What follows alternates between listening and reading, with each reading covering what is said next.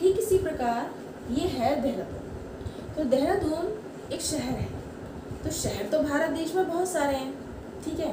देहरादून भी एक शहर है, दिल्ली भी एक शहर है, ठीक है? लखनऊ एक शहर है। लेकिन क्या सभी शहरों के नाम देहरादून है? नहीं। देहरादून एक ही शहर का नाम है और जब कोई चीज़ एक होती है, किसी एक का नाम होता है तो उसे हम व्यक्तिवाचक संज्ञा कहते हैं। व्यक्तिवाचक का मतलब होता है जो किसी एक के लिए यूज़ हो। फिर है साईं मंदिर। मंदिर बहुत सारे हैं, लेकिन क्या सभी मंदिर का नाम साईं मंदिर होता है? सब मंदिरों के नाम अलग होते हैं। कोई दुर्गा मंदिर होता है, कोई टपकेश्वर मंदिर होता है, कोई शिव मंदिर होता है। तो ये जो उनके नाम है, इनको हम कहते हैं व्यक्तिवाचक संज्ञा। अब आइए दूसरे पे जातिवाचक संज्ञा। जातिवाचक संज्ञा कैसे होगा? जैसे कि खिलाड़ी। खिलाड़ी बहुत सारे हैं। जातिवाचक का मतलब होता है जो एक नाम बहुत सारे लोगों के लिए प्रयोग में लाया जाए। तो खिलाड़ी तो बहुत सारे आप पार्क में जाते हैं जितने भी बच्चे खेलते हैं सब खिलाड़ी हैं। आप क्रिकेट का खेल देखते हैं तो सारे उसमें खिलाड़ी होते हैं जित, जितने लोग भी ग्राउंड में खेल रहे हैं सब खिलाड़ी हैं। लेकिन क्या सभी खिलाड़ियों का नाम विराट कोहली है? क्या सारे खिलाड़ी सचिन तेंदुलकर हैं? नहीं। तो खिलाड़ी शब्द हमारा जातिवाचक है। जो भी खेलता है हम उसे खिलाड़ी कहते हैं लेकिन सब खिलाड़ियों के नाम अलग होते हैं। ठीक उसी प्रकार शिक्षक। शिक्षक मानी टीचर। तो स्कूल में तो बहुत सारे टीचर होते हैं, ठीक है? लेकिन जैसे आपकी जो टीचर हैं, वो हैं कविता मैम सपोज़ ठीक है? तो क्या जितने भी सारे स्कूल के अंदर जो टीचर हैं, जो अध्यापक हैं, सबका नाम कविता है? नहीं। तो हमारा जो शिक्षक शब्द है, वो जातिवाचक है, क्योंकि शिक्षक सारे शिक्षक होते हैं, लेकिन जब हम उनका नाम बताते हैं तो वो हमारा व्यक्तिवाचक शब्द होता है। लड़की, ठीक है? आप बहुत कक्षा में बहुत सारी लड़कियाँ हैं। तो लेकिन क्या सभी का नाम सौम्या है? या सभी का नाम सौम्यता है? ऐसा नहीं है ना? सबके नाम अलग हैं। किसी का नाम अंशिका है, किसी का नाम तेजस्वी है, लेकिन है तो सारी लड़कियाँ। तो लड़की जो शब्द है, वो सभी के लिए प्रयोग किया जाता है। इसीलिए वो जातिवाचक संज्ञा है। ऐसे ही कार। आप सड़क पर देखते हैं कितनी सारी कार चलती हैं। लेकिन क्या सारी कार ऑल्टो कार हैं? नहीं।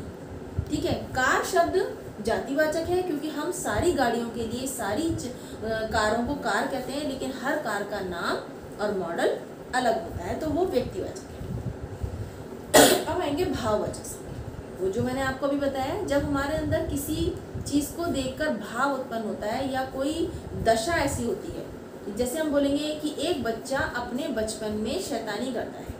तो बच्चा शब्द भी संज्ञा है, वो अपने बचपन में, यानी कि जब वो छोटा था, जब वो एक अवस्था थी, जो एक सिचुएशन थी, उसका नाम, बचपन हमने किसका नाम रखा हुआ है? जब बच्चे छोटे होते हैं तो जो वो पीरियड होता है, जो वो काल होता है, अवस्था जिसे कहते हैं टाइम आप समझ पाएँगे टाइम उस टाइम का नाम, बच्चों के छोटे टाइम का नाम हमने बचपन रखा हुआ है. तो इसीलिए वो संज्ञा है. लेकिन वो जो समय है, उसे हम फील करते हैं. ठीक है ना? ऐसी है मित्रता। यानी कि आपके और मेरे बीच में मित्रता है। ठीक है? मैंने बोला, आपके और मेरे बीच में अच्छी सी दोस्ती है। तो क्या दोस्ती किसी का नाम है? नहीं। हम ऐसा फील कर रहे हैं, क्योंकि मुझे आपके साथ अच्छा लगता है, रहना आपको मेरे साथ, हमारे बीच में दोस्ती है। तो हमने उस अच्छी फीलिंग का नाम दोस्ती या मित्रता रखा हुआ है तो वो भाव उत्पन्न हुआ है, इसीलिए हमने उसका नाम भाव वजह से रखा। ऐसे ही है खटास, जो मैंने आपको अभी बताया। कि नींबू के अंदर खटास होती है, क्योंकि हमने नींबू को चक्कर देखा और उसका जो स्वाद हमें लगा, हमने उसका नाम खटास रखा है। अभी हम करेला चखेंगे, उसका जो स्वाद होगा वो खट्टा नहीं होगा, वो खटास नहीं होगा, वो होगा कड़वापन। तो हमने उसका जो नाम रखा हुआ है, जो हमने टेस्ट किया कड़वापन तो वो हो गया हमारा भावचक तो ये तो थी आपकी संज्ञा की परिभाषा, उसके उदाहरण और संज्ञा के भेद आपको अपनी इस पुस्तक में इनको दोबारा से पढ़ना है। ठीक है बच्चों?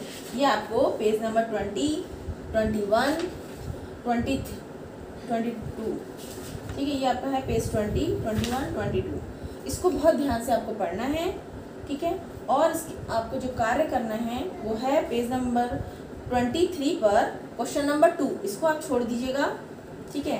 Question number two three and four ये देखिए क्वेश्चन नंबर टू ये आपका गृह कार्य है question number two three and four and five पाँच। यहाँ तक आपको अपनी बुक के अंदर कार्य करना है। ठीक है? और अभी मैं आपको एक और कार्य इसमें कराती हूँ। अब हम अंतर देखेंगे, व्यक्तिवाचक और जातिवाचक में चेंज करेंगे।